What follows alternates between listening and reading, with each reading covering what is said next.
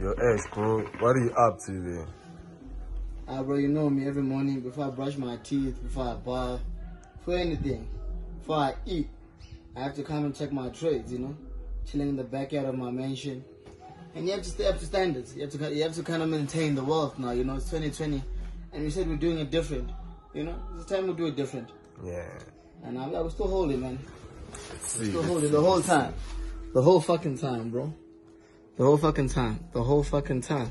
Can see the camera. I don't know what those black lines for, but I guess it's just the camera quality. What can I say? It's a, it's a live account, man. The whole time. We're still moving. 200,000 US dollars in profits, just over 2 million US dollars. 2 million rand, sorry. But we're still kicking.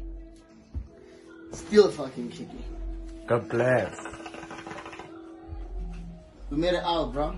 What can we say?